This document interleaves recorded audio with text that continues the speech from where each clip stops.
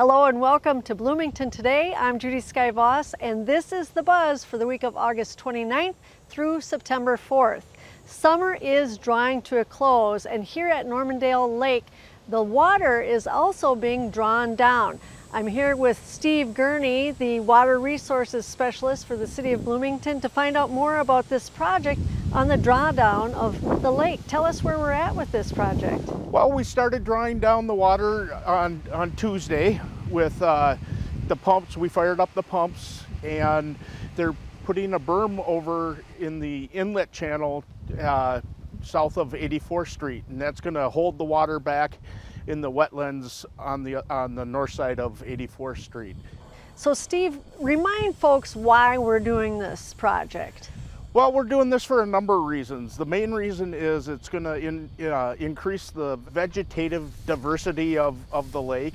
Um, we're going to try to kill out the curly leaf pondweed, which is the big invasive species that starts to grow quickest in the summer and dies first. So it adds a lot of extra nutrients to the water, which we don't want. So we're going to eliminate that as best we can. It's going to take five years to do it. Um, the first year we're going to draw things down, freeze out the seeds, and then come back in the spring and do some spot treatments with with a aquatic herbicide that's geared right towards uh, the curly leaf pondweed.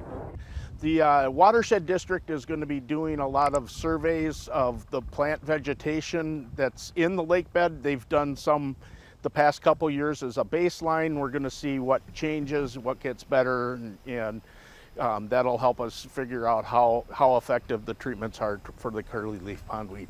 So Steve, what should people expect to see happening here in the fall and into the winter? Well, they'll see, they'll see the water level draw down and you'll start to see the mud flats be exposed throughout the lake bed. How much water is it all going out? We're going to draw the lake down about three or four feet. And what we're doing is we're pumping that water over the spillway and into the creek where it would go naturally anyway. And it'll look like most of the lake will look like it's dried up. It really isn't dried up because all of that muck has a lot of water content to it. And so it acts like quicksand. So we're also telling people, as tempting as it might be to get out and look around on the lake bed, do not go out there. Um, we just don't know exactly how things are going to freeze up over the winter and it could be dangerous. The DNR has weighed in on, on our plan for, for management of wildlife. Uh, we've got turtle fence around the whole lake to direct the turtles to the proper crossings where we want them crossing so they're not climbing out on the roads and, and getting hit by cars or causing accidents. Well, thank you for taking the time to meet with us today and, and good luck with the project. Well, thank you. Now, from Normandale Lake to Normandale Community College, where plans are underway for a celebration that was a half a century in the making. On September 23, 2018, it will be 50 years since Normandale Community College opened its doors in 1968. Since then, over 300,000 students have taken the opportunity to pursue their goals of higher education at Normandale. From the beginning, Normandale's purpose has been to provide excellent academic preparation and reasonable tuition as an alternative to four year colleges. Through the years, it has become so much more to the students it serves a pathway to a better life and a community of learners empowered by possibilities. Today, Normandale is the largest two year college in the state of Minnesota. And in celebration of Normandale's 50 years, there will be two major events. The first will be an open house event on Saturday, September 22nd. This event will feature a magical history tour, a pop up museum timeline, Historical photos and banners included selected 1968 pieces loaned to Normandale by the Minnesota History Center. On Monday, September 24th, there will be a campus celebration featuring musical entertainment, food trucks, student performances, comments from students past and present, and games and prizes, along with a 50th anniversary themed contest. There will be many other events for the 50th anniversary. To get more information, go to normandale.edu backslash celebrate 50.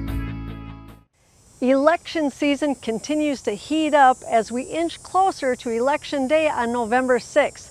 and the city of Bloomington is in search for election judges. Here's some information you'll need to know if you want to be an election judge. First, you must be eligible to vote in Minnesota. You must also be able to read, write, and speak English. You do not need to declare which major political party you align with, but the state law does call for party balance among working judges at the polls. To reach this balance, the city clerk's office needs all judges and specifically needs those who affiliate with the Republican Party. And did you know that state law requires employers to excuse employees who are election judges from work with no loss of pay? Here in Bloomington, judges earn $11.25 an hour for training and judging. Two mandatory training classes will occur in October, and work on election day starts at 6 a.m.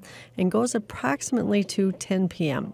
Prospective judges can download an application form from Bloomington's website or call 952 563 8729 to have one mailed out to you.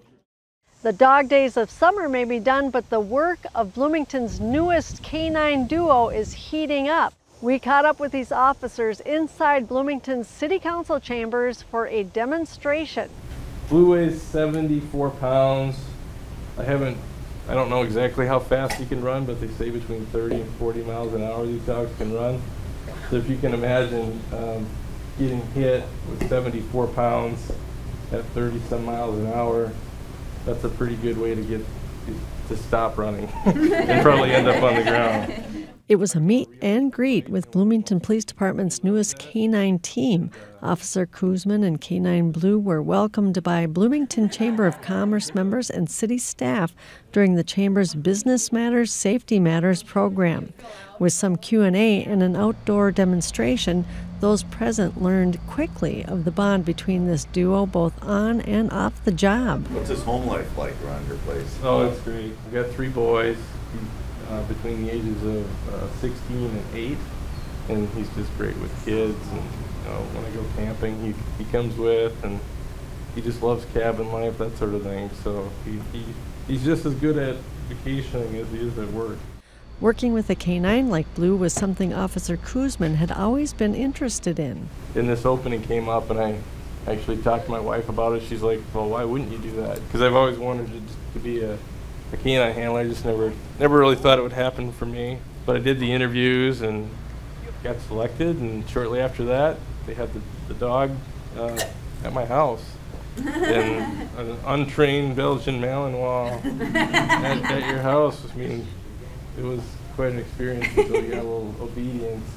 K9 Blue has come a long way already in his training thanks to hard work, a great handler, and some tasty encouragement. The Blue just picks up on things really quickly, and uh, previously in the police world, they use a lot of compulsion, which is basically forcing them to do things. Now all of our methods are, are having to do with food-based rewards. He eats about five cups of Royal Canin every day. He never, I can't think of any times in training that he ever missed eating a day just because he always wanted to, to get that food reward. It was such a strong drive for him to get, get to eat. Officer Koosman and Blue will be going to more schooling this fall to get their bomb detection certification. And that is the buzz for the week of August 29th through September 4th. If you would like to watch other stories from the show, go to this week's playlist. There you'll find an interview with Bloomington's retiring Parks and Rec manager, Randy Quale, Inclusion and equity is one of the City Council's six strategic priorities. Hear how Diversity Day is just one effort in reaching city goals. Thanks for watching.